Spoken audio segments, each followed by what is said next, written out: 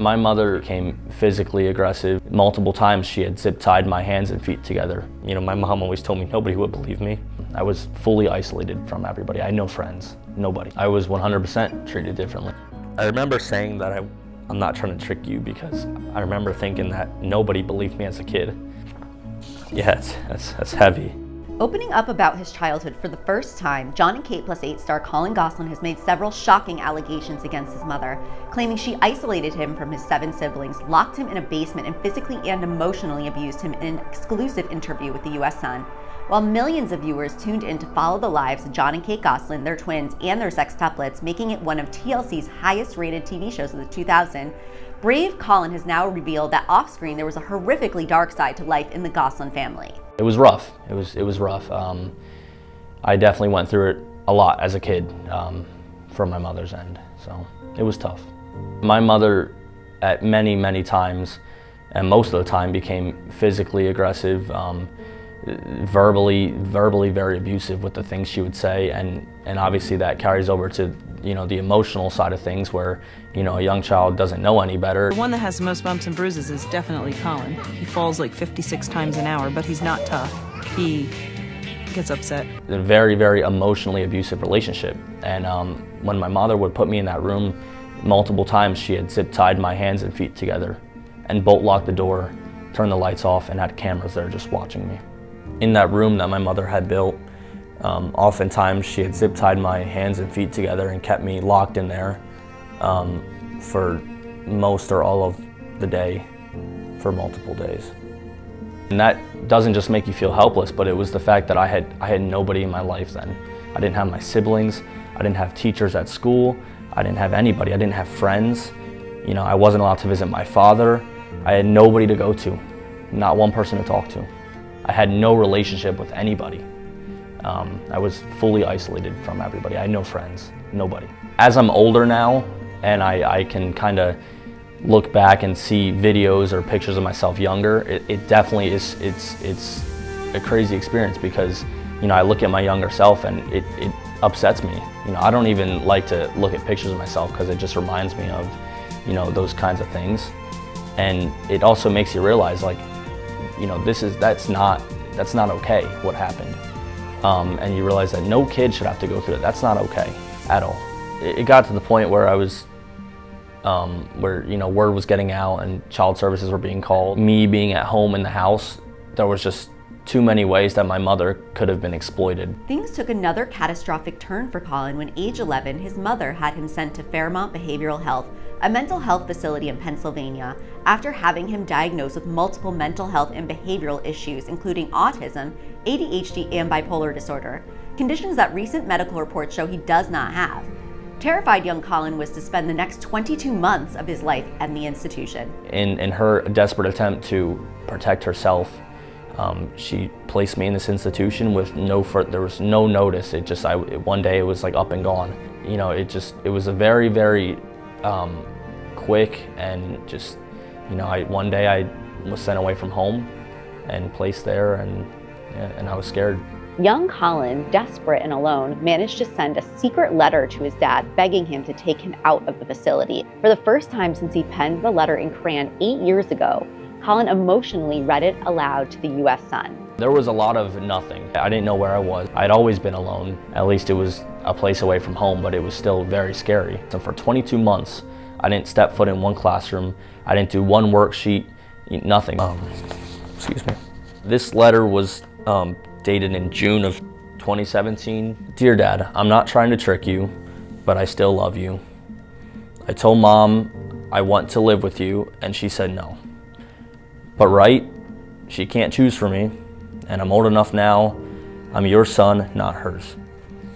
She was abusive to me after I left your house, and I'm sorry. I'm sorry. Take this to court. Um, excuse me. And I said, Dad, you're my savior. Uh, please help me. I'm counting on you to get me out of here. I remember saying that I, I'm not trying to trick you because I remember thinking that nobody believed me as a kid. Uh, you know, my mom always told me nobody would believe me. I was that desperate that I had to explain to him that this wasn't a trick, and I, I hadn't seen him for so long because I, I wasn't allowed to visit him and I did want to live with him. Um, looking back at it, I'm, I'm really glad I did this. It was tough. I was scared to write it because I hadn't seen my dad in years and I, I didn't really know what he would think. Like, what, is this real? Like, you know, why is he trying to reach out to me? Like, I mean, I'm sure he knew why I'd been trying to reach out to him, but it, you know, I was scared to write this. It was a leap of faith that I had to take, and I'm looking back, I'm really glad I did that for my younger self. In, integrating back into like society with like, you know, kids in my age group, it was tough. Um, it was like towards the end of middle school, and um, you know, I, I remember finding some academic work a little difficult, and I didn't really know how to talk to my peers.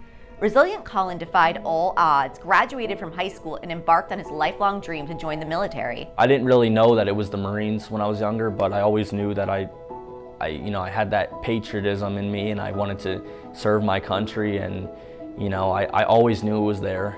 Um, and I, I remember like signing that contract and going off to training and and, and, and stepping foot, you know, on Parris Island, I, I just remember like on the yellow footprints, I remember like as a kid, I never really knew what that dream was, but when I got there, it, it just all clicked, and I was like, "Yep, this is what it. This is this is what the dream was," and um, that that brotherhood and that camaraderie and the leadership and just how you know my drill instructors and all the Marines on Parris Island carried themselves. It, it's truly an amazing. It's amazing. It, it, it's breathtaking, and it's such an amazing organization. And uh, this country is, is lucky to have the U.S. Marines. Sadly, Collin's dream was to be short lived when on July 21st, 2023, Mother Kate, who he had no contact with since he was hospitalized, made an extensive post on Instagram where she claimed he had multiple psychiatric diagnoses, accused him of having a distorted perception of reality, and accused him of exhibiting unpredictable and violent behaviors. This post went insanely viral, and in this post, my mother talks about how I have a, a large large list of diagnoses. I couldn't defend these attacks. I didn't even know what was going on until my friend actually mailed me a picture of this. It got around and it raised a lot of questions.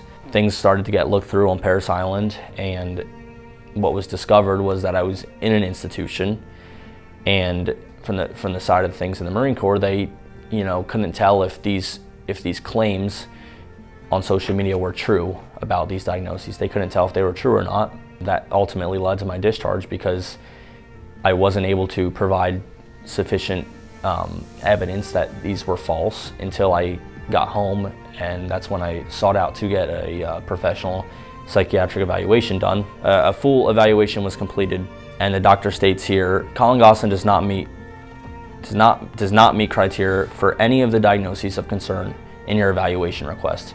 And that request was um, from the Marine Corps um, nor do I see evidence to indicate any other psychiatric diagnos diagnosis or behavioral disorder in his current functioning. Due to these allegations that she posted on social media, my dream of becoming a U.S. Marine was crushed. Now I have to fight and do everything I can to fulfill that dream still. And it's important for me, for her to come forward with the truth because I want nothing more than to serve my country.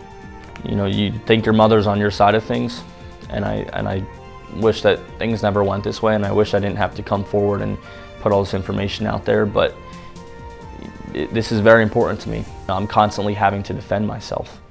I'm constantly having to state the record.